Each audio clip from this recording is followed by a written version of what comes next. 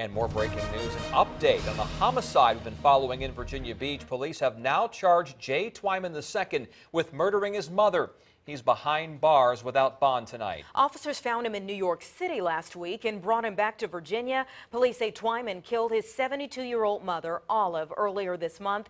Investigators found her body in her home on Cape Arbor Drive.